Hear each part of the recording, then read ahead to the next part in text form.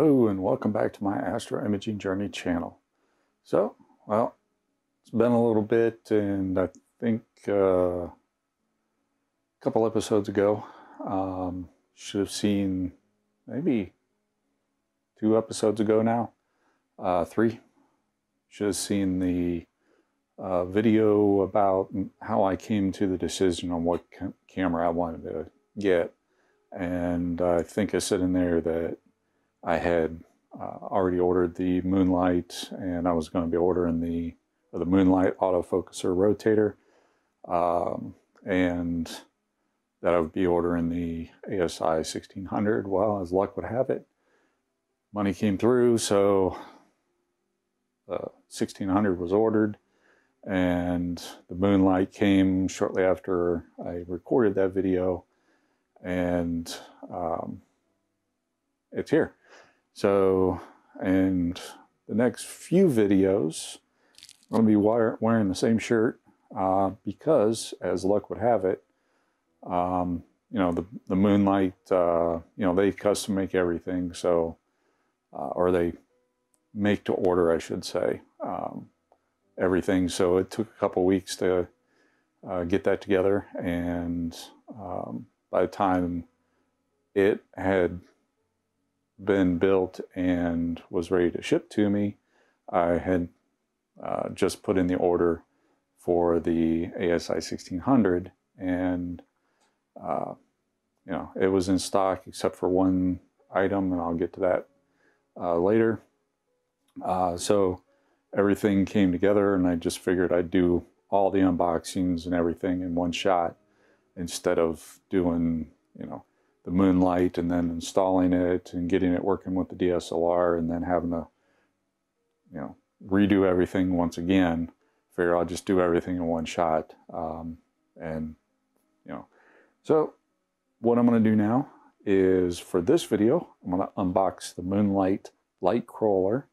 And uh, yeah, so the next few videos, what I'm hoping to do is the next video should be the unboxing of the ZWO or the camera and filter wheel um, shipment. And then after that I'm going to do some bench testing. So I'm going to bring in the uh, mini PC put it on my uh, desk here and connect connect it up and make sure that I can get the Moonlite working as well as the camera and the electronic filter wheel so I'm going to break that up. I'm going to break it up so that we have um, getting the Moonlite light crawler working. And then I'll do a separate video of the bench testing of the camera.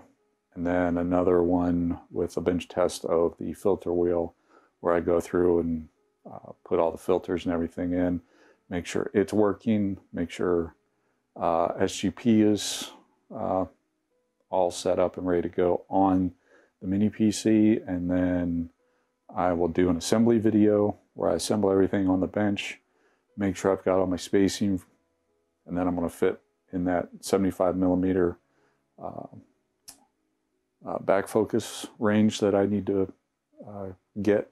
That'll be 75 millimeters at the back of the Moonlite, and we'll get into that when I uh, do that, and then do that video and then I'll do another one where I actually go out and install it on the cam or on the uh, telescope. Hopefully, I get all of this, uh, all these videos at least recorded today. Uh, clouds are supposed to break around 8 o'clock tonight, so hopefully I can do a first light later tonight. If not, it'll be tomorrow. Uh, but I'm going to break everything up into uh, shorter videos uh, you know, one for each of the parts, uh, just because, uh, you know, a lot of people might not want to sit through a 30 minute video and all they really want to know is, is, you know, how did I get the settings to work for the filter wheel or what have you. So I want to break it up. I'll, you know, and I'll span them out over, uh, you know, a week or two, however many end up having. And then, you know, that way, if there's anything anybody wants to know about any one of the particular uh, pieces, then we can they can go just to that video or those couple videos and we'll be uh, a little bit more user friendly in that aspect. So uh, please stick with me if you're watching this and then you're waiting on the rest of the videos to uh, come online. You know, it's just the way I'm going to do it. So hopefully you guys understand. And uh, yeah, so let's get to it. This video is about the Moonlite. So shipped it in a decent little uh, box. Got some heft to it. I'm not going to turn that because it's got my address and everything on it. But let's uh, get this at least opened up. And if you remember from a previous video, I always like to try to use the knife where I'm pushing away from the body. We don't want to jam ourselves.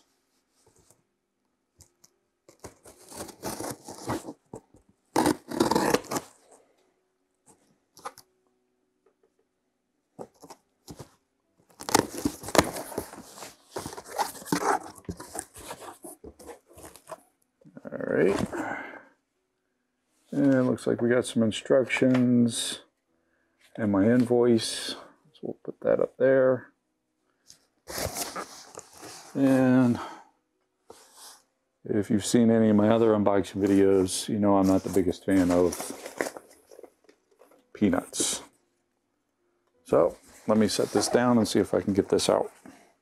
Okay, so a bunch of little bubble wrapped pieces in here. So let me just set everything off to the side and then I will uh, be back here in a second. All right, so first thing, uh, you know, there looks to be about uh, three, four, five, six, seven, eight, nine separate items in the box. Um, Ron, if you're watching, uh, thanks again for everything, the great communication. Um, and uh, as far as a review of the packaging, hey, everything seemed to be be good. I'm just not a fan of the styrofoam peanuts, but uh, you know, I understand you guys got to do what you got to do. So, um, what we have in this box is the power adapters. Looks to be the same or similar uh, power adapter to uh, what I got with the CHL autofocuser. Uh, might need a little bit more power, so it might be a different uh, rating, but um, you know, you've got your transformer and then a slide in on the end here where all your different uh, standards. So like this is the European standard and I believe this one will be the American standard, which is what I would need. Yep. So that's pretty standard as far as that's concerned. Next up, let's see what we got here. All right, this is a 68 millimeter to one and a half inch compression ring. 68 millimeters there. Um, that would be great if I was using a one and a half millimeter or one and a half inch um, eyepiece adapter, but it's good to have it. Okay, 68 millimeter to 48 millimeter adapter, recessed. I'm guessing this is very similar to the one that uh, I have on the CHL, and this will go into, or this would go back into the back of the uh, focusing barrel, and then every all the accessories would attach to the M48 threading. So, or 48 millimeter threading. And then we have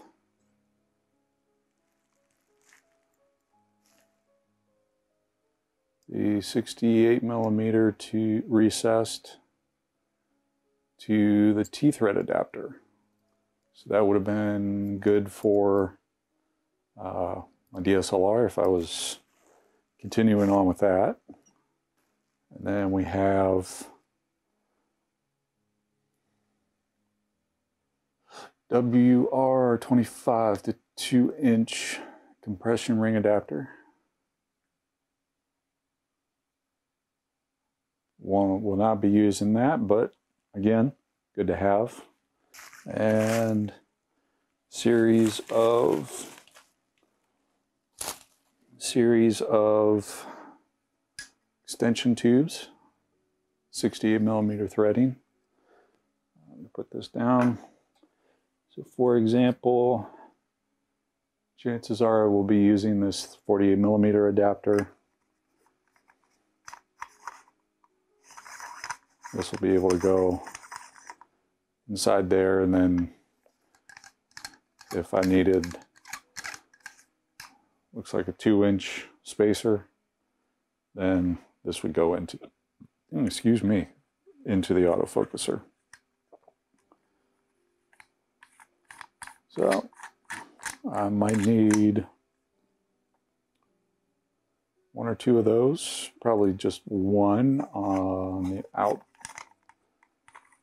on the outside meaning uh, what would be a good term? Replacement. I always drop stuff in here don't I? Um, on the off chance there we go the off chance that I need a little extra space. So grab this other piece and I'm not going to worry about uh, opening this one up. Right now it's uh, mirror lock knobs and the uh, primary mirror uh, focusing knob. I believe these are lower profile than the stock. Uh, these would be these would be needed if I didn't have the uh, focal reducer on there. Uh, the focal reducer will have this set, setting uh, far enough away from the stock knobs. So, um, but thank you, Ron, for including those as well. Um, next up is USB cable. Um, looks like USB-A, the old printer style, and a temperature probe. And that was looks to be pretty much the same as what uh, I have on there right now with the CHL. So that's nice to have a spare of that. And this has to be the focuser rotator. So let's, seems packaged pretty well. There's got to be at least uh, five or six layers of bubble wrap on this thing. LiteCrawler LR25 two-axis rotating worm drive focuser. So I am guessing this side goes towards camera and this side would go towards the OTA. Uh, looks like we got Nice little control unit on the front. Uh, power, assuming on off, USB and temperature probe. Uh, it's got our markings for our degrees, for our rotation. Uh, yeah, this is going to be interesting. Yeah. I'm going to have to read through the documentation he sent and uh, get this working on the bench. Should be able to see this moving if it's if the rotator is in fact uh, working. So um, assuming one is the I'm assuming one of these knobs would be for rotation and one knob would be for uh, focus uh, if you wanted to manually do it. So we will put this over on the bench and we'll get into the bench test a little bit later with this thing. So uh, with that, I'm going to say thanks again, Ron. Uh, once again, this looks really, really good. Hopefully I can get this thing installed uh, a little bit, a little bit later here after I get everything set up and bench tested, and then um, hopefully uh, sometime next week I will have the CHL uh, autofocuser on its way back to you. And uh, for uh, those that aren't in the know, uh, he did offer a trade-in value for the CHL that I have. Uh, I do not I do not have another OTA that I run, so I don't have another OTA period. So that means um, I don't need the CHL autofocuser. Um, he offered a trade-in value, and I took it. Uh, that brought me within budget so that I could get both this and the new camera. So uh, I'm super pleased with that, and I want to thank thank you again, Ron. I will be getting that CHL back to you hopefully in the next week. Uh, real time, uh, YouTube time, you probably already have it by now. So I'm gonna, with that, I'm gonna say for this video, thanks for watching. Hope you enjoyed it. Looks like another awesome product from Moonlite. And uh, yeah, clear skies. Have a good one. Thanks for watching yet another episode from the Astro Imaging Journey channel. Really appreciate your viewership. In our upper right, we have the latest video that I have posted prior to this one. Down in the lower right, we have what YouTube thinks you will enjoy. Below is a subscription link. Please hit that like button, subscribe if you so choose, ring that bell if you want to get notified of something new, and as always, thank you, clear skies. Remember to